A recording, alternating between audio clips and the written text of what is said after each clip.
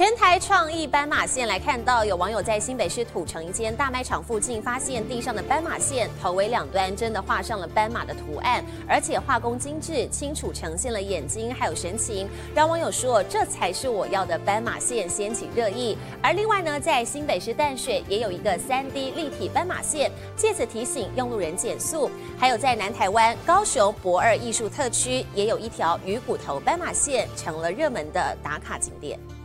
平常穿越人行道，脚下踩着的都是像这样子黑白线条的斑马线，但是走到尽头往前一看，居然还真的有一只斑马，栩栩如生的斑马头画工精细，另一端还有个俏皮斑马臀，头尾两端形成一只斑马，名副其实的斑马线，让过马路的民众都忍不住拿起手机照相。有网友在新北土城一家卖场附近拍下了这张照片，搞笑的说：“这才是我要的斑马线”，吸引上万名网友点赞。超萌的画面让网友直呼：“不能怪行人不走斑马线，要怪。”斑马线不够斑马，全台各地的马路都这么可爱，我一定愿意每天出去。更有人预言，这里会不会变成打卡景点？我觉得可能对小朋友会比较有帮助吧，让他们认识斑马线，然后注重交通规则啦，还蛮厉害的，蛮有艺术那种感觉。全台各地造型特殊的斑马线，新北市淡水就有一处停车场入口，画是三 D 立体斑马线，利用视觉效果提醒用路人减速。另外，在高雄博尔的艺术特区，也有一条鱼骨头斑马线，成为热门打卡景点。一般如果是在道路范围设置的